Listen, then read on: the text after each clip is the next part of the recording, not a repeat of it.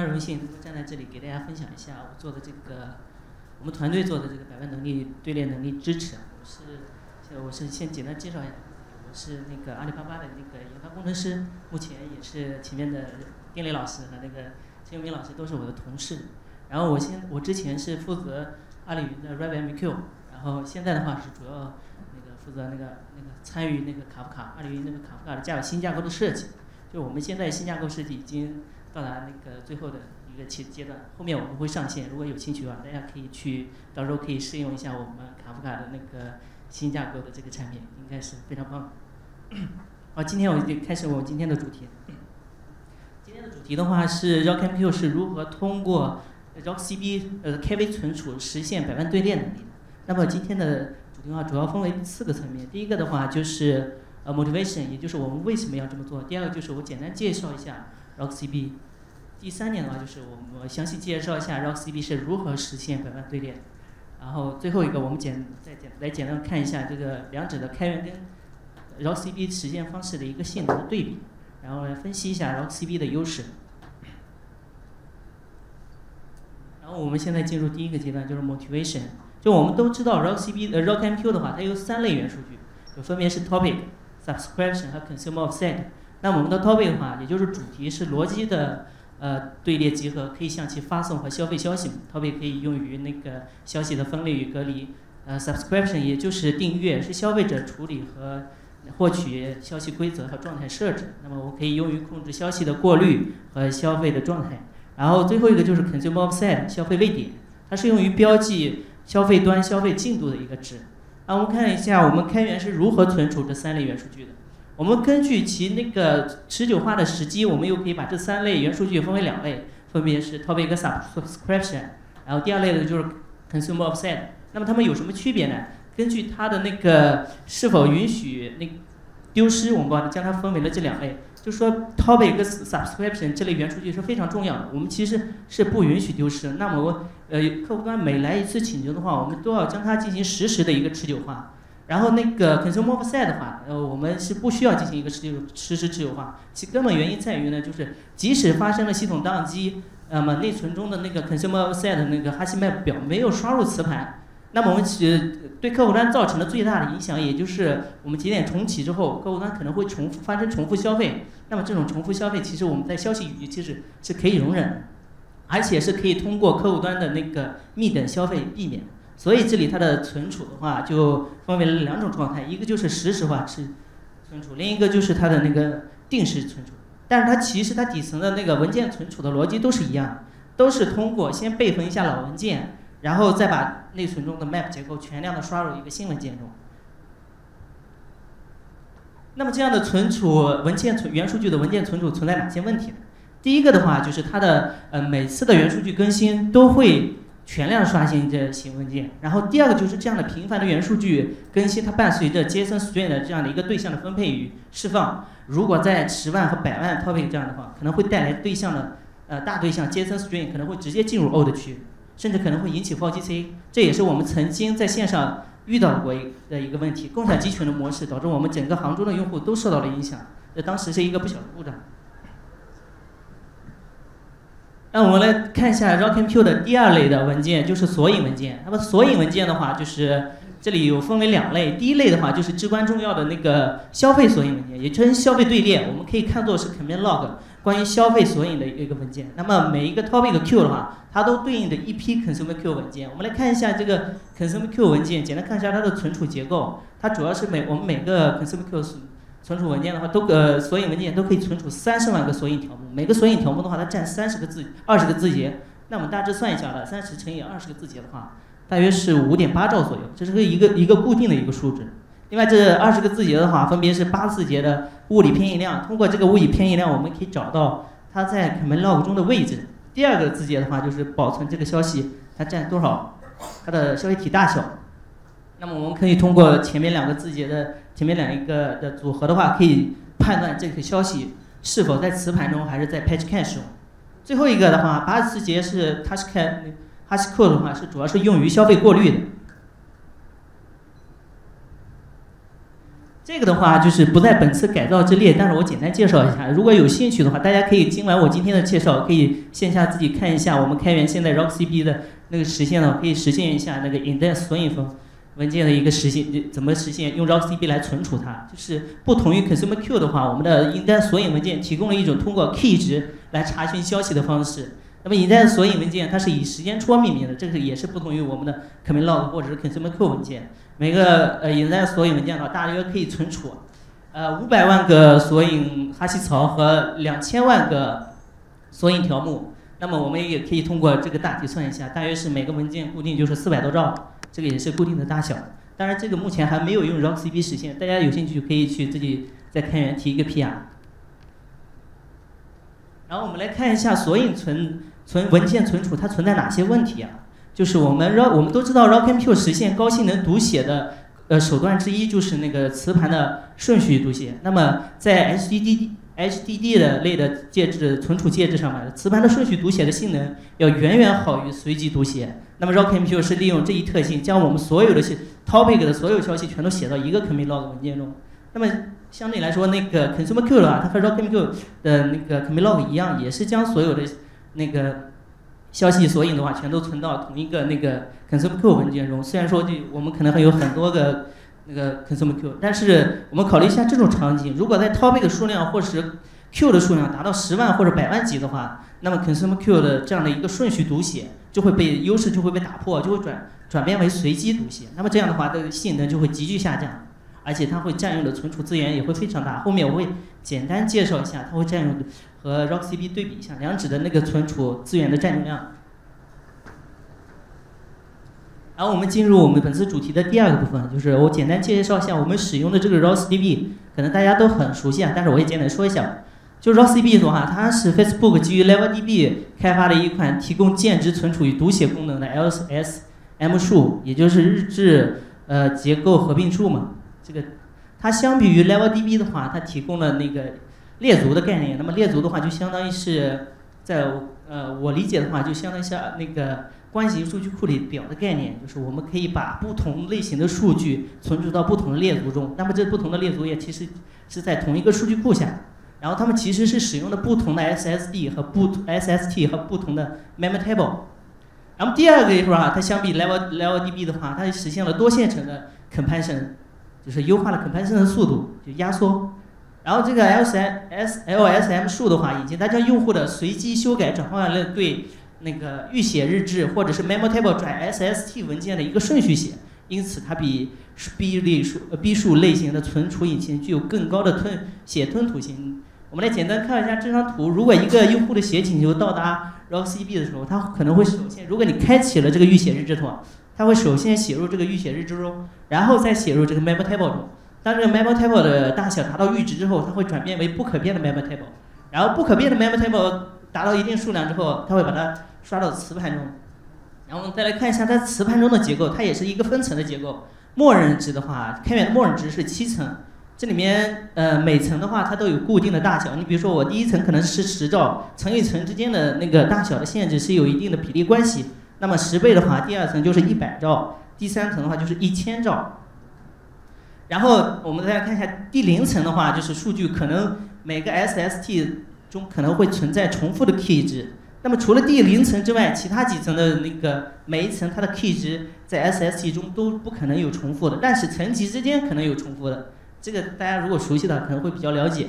然后再来看一下这个读请求，如果读请求过来的话，它可能会先读内存，内存中没有的话再去读磁盘，这里面可能涉及到一个磁盘的那个多层级的查询，可能会有多次的那个 I/O 查询，所以也就有那个它的一个缺点就是它的写放大。同时也有它的一个读放大的一个缺点，就是说它那个我们数据存储的实际的存储的存储的量可能要比那个要比它那个数据本身的要更多。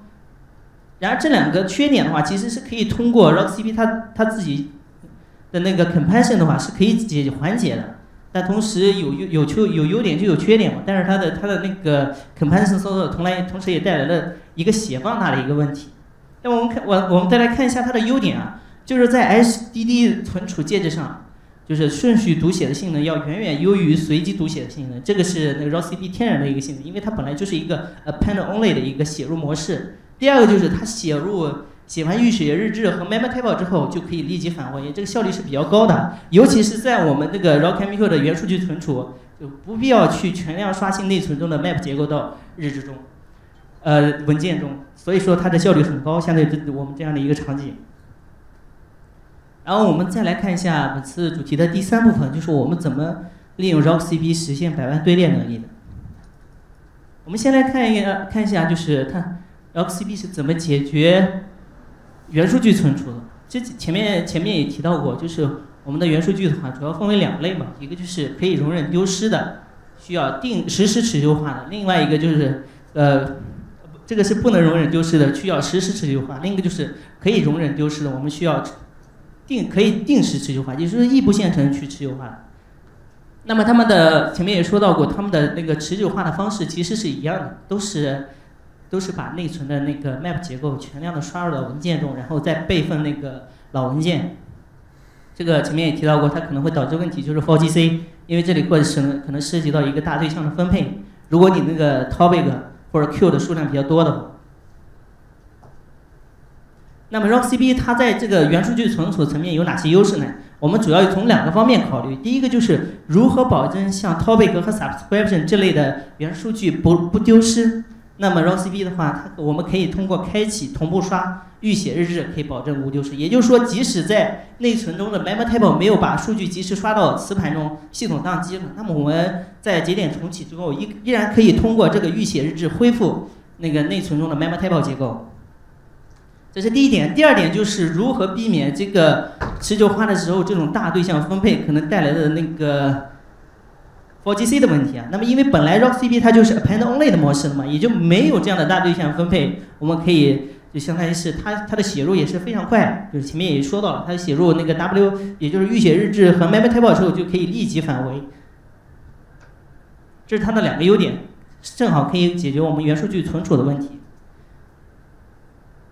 我们来，再来看一下那个 ROCP 是如何解决索引存储，这个也是我们本次设计的一个大头。就是我在那个写开源的写那个代码的时候，就是这个这个代码量可能占到了呃四四千到五千多行吧，因为它的设计也是比较比较复杂的，因为它涉及到层层面面的一个考虑。我们先来看一下哈，就是以前的文件存储的话，它有哪些问题？前面也说到过，就是说在 topic 或者 q 的数量达到百万或者十万级别的时候，那么大量的这样的一个 consume q 的小文件的随，呃，就会变为随机写，就是以前的顺序写的优势就会被打破。那么这时候的话，它的性能就会得到急剧下降。我们再来看一下 ROCP 它有哪些优势可以解决这个问题啊？就是。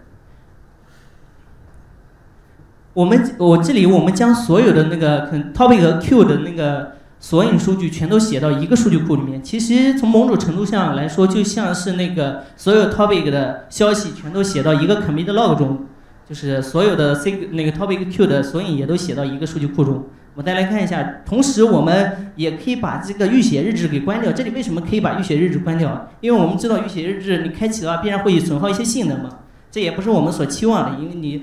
你你的优化一定要带来正向的优化，不能导致性能急剧下降嘛？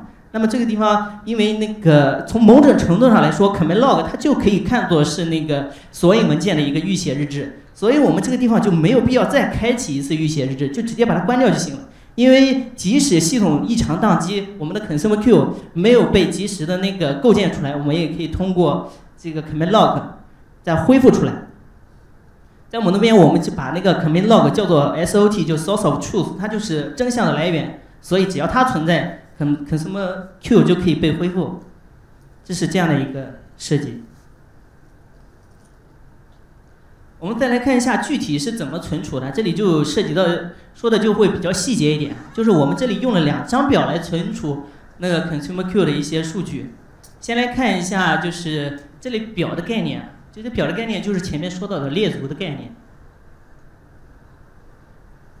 第一个就是我们来对比一下那个开源的那个那个 CQ 的存储单元，也就是 Consumer 的存储单元。前面也说了，主要是二十个字节，分别是八字节的位偏离量、四字节的那个消息体大小，还有八字节的那个消费过滤的一个 touch。那么在 RockCP 中，我们是如何存储这样的一个呃那个 CQ 的存储单元？因为我们把所有的 Topic Q 的存索引的条目全都糅合到一个数据库中了嘛？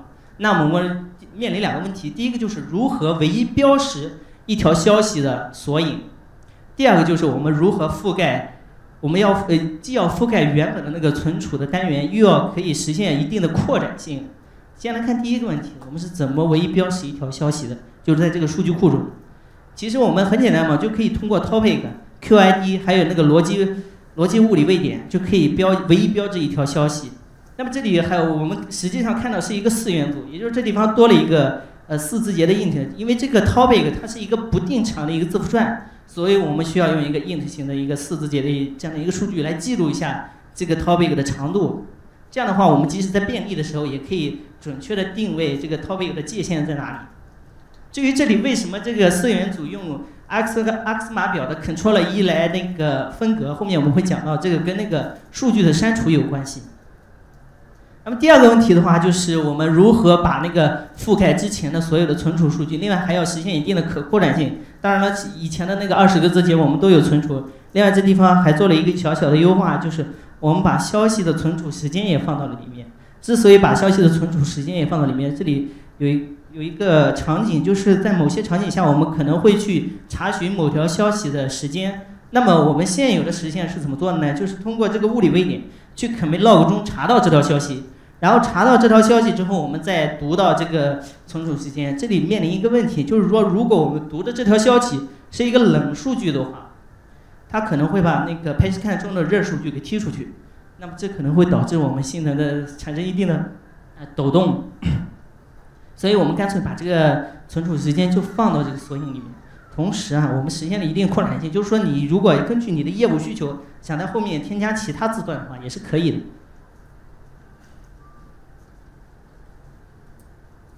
然后来看一下第二张表，第二张表存的是什么呢？因为我们实际上已经把索引数据已经完全存完了嘛。那么第二张表到底存什么呢？我们都知道以前那个 consumer q 它是以文件的形式存储的嘛。那么以文件的形式存储，我们自然就知道它的上界和下界。它的上界就是文件的起始位点，那么它的下界的话就是文件的终始位点。这个都是可以通过文件，因为它文件名本身就是那个物理，就是它的偏移量嘛，所以这个很好很好理解。那么在 RockCP 中，因为我们把所有 Topic 和 Q 的数据全部都融合到一个数据库中了嘛，那么要如何查到一个 Topic Q 它的上级和下级呢？也就是说它的最大物理位点和最小物理位点呢？或者说它最大的那个逻辑位点，它最小的逻辑位点。那么我呃比较简单的方法就是进行一个全包全表扫描嘛，我们可以这样的话就可以快速的定级呃定位到这个 topic q 它的上级和下级。但是我们知道，即使在那种关型数据库中，我们也要避免的一个操作就是呃全标扫描嘛。所以我们这地方干脆就把这个把它的最大的物理位点和最小的物理位点给存起来。同样面临一个问题，就是我们如何标记唯一标记一个 topic q 的最大和最小物理位点？也可以用三元组啊。这地方看一下，这地方多了一个三字节，这个三字节就表示呃，或者是 max，或者是 minimum，就是表示它是最大或者最小的一个标记。这里同时也面临那个问题，用一个四字节的一个 int 型数据来记录一下这个 topic 的长度。总之来看一下这个 value 的话，就是这个 value 值就对应的是它这这。它的最大的物理位点和最小的逻辑位呃最最大的物理位点和最大的逻辑位点，或者最大的最小的逻辑位点和最小的物理位点，就是这个意思。大家可以看一下，为什么要用第二张表？然后我们在接下来会有三个业务点的补充，就是我们用 Rock C B 实现了那个。呃，索引的，存储之后，就是针对整个架构，它可能还有一些其他的变更。我们再来看一下这个问题啊，就是说，呃，不同于开源的卡夫卡，就是我们的 RockMQ，它的 commit log 跟 consumer q，就是它的 log 日志和索引并不是一一对应的。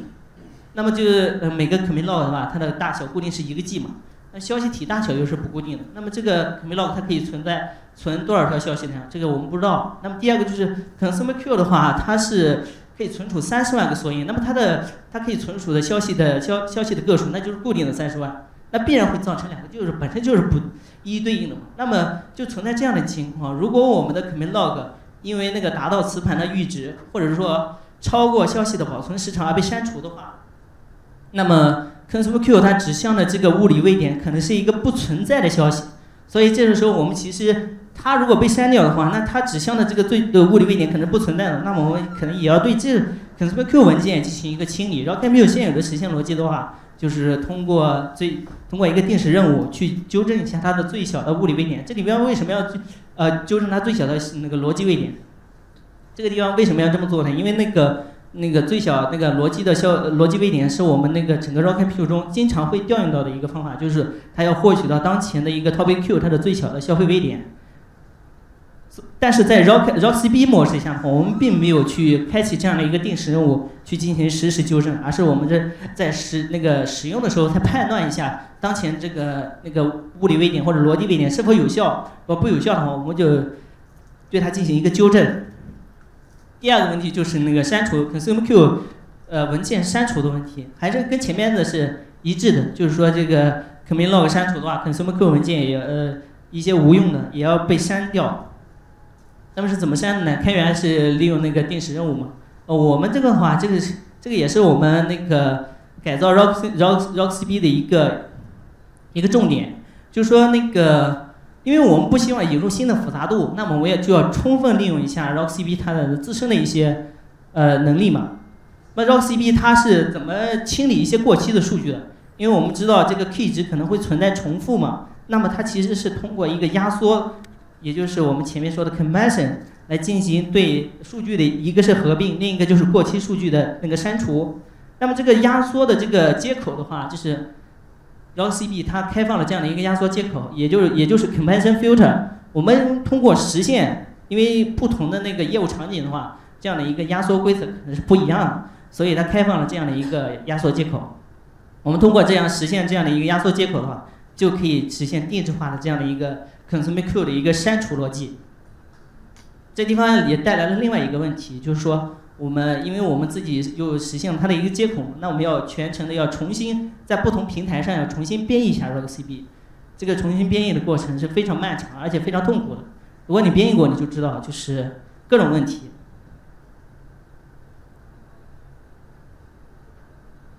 然后最后一点的话，我们就就来讲一下，就是我们 Topic 删除最后一个业务点。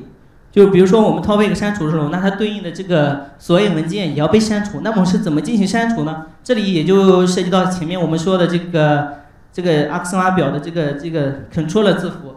我们来看一下哈，就是 RockCP 它本身提供了一种范围查询和范围删除的能力。那么它的范围删除是这个范围是怎么定义呢？就是通过 key 值的字典序。那么这这个字典序我们来看一下，中间这个 key 值的话。其实就是我们这个 topic Q 的所有的那个索引数据。那么我们怎么定为定义它的上下界呢？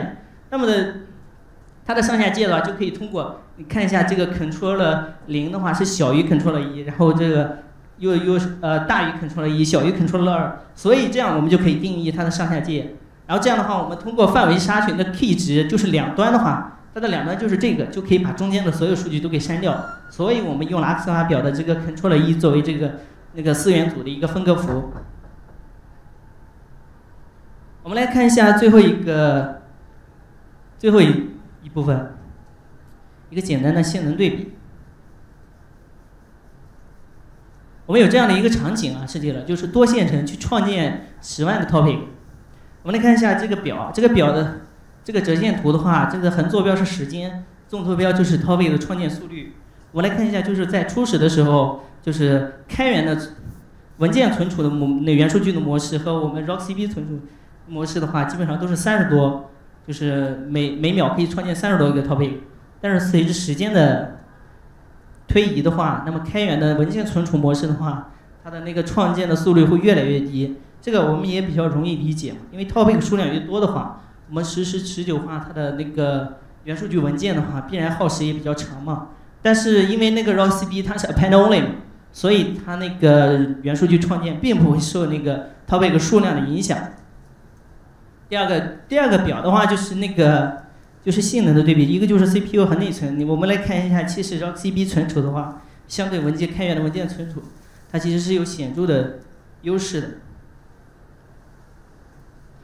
第二个，我们来看一下索引文件方面，就我们也有这样的一个场景，就是多线程均匀的往五万个 topic 中发消息，然后它的写入的流量的话是每秒四万。我们来看一下那个 RockCP 的模式的话，就是它的消息的写入的流量的，随着时间一直是没有变，很稳定。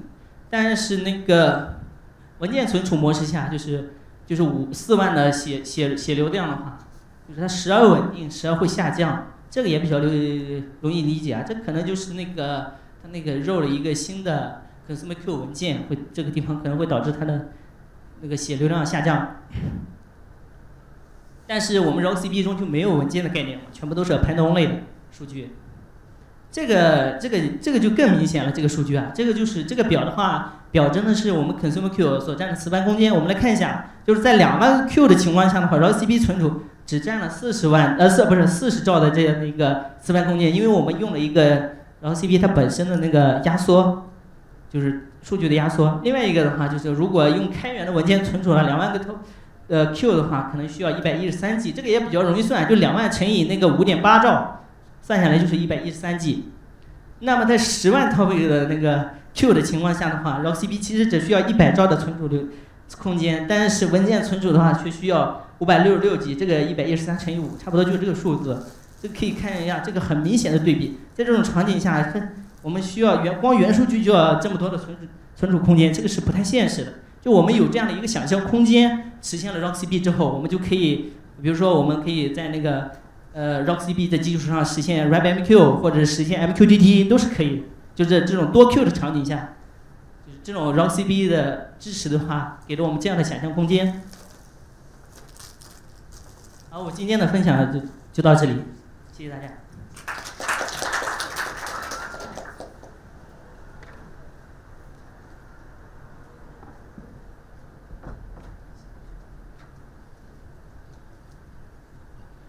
非常感谢赵福建老师给大家带来呃 RockQ 百万队列的这个详细的实现，然后大家看有有没有什么问题啊？啊，你好。嗯。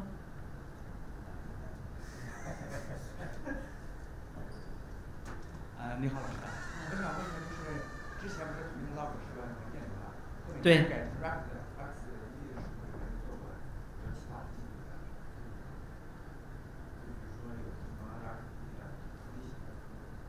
呃，你说 commit log 改造吗？因为我们这次没有涉及到 commit log 的改造，还是个 commit log 还是之前的形式。我们用 RockCP 是支持的是原数据和索引文件。嗯。